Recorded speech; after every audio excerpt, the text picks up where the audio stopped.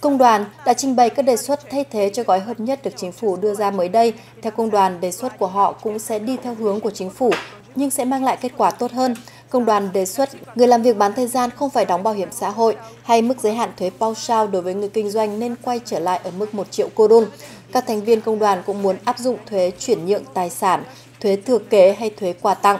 Chủ tịch công đoàn còn đề xuất tăng mức lương tối thiểu lên 19.500 kurun, tăng khoản đóng bảo hiểm của người kinh doanh cá thể Observer và áp dụng lại hồ sơ thuế điện tử EET. Theo công đoàn, nhờ các biện pháp như vậy, nhà nước có thể tiết kiệm được từ 151,5 tỷ đến 163,5 tỷ kurun.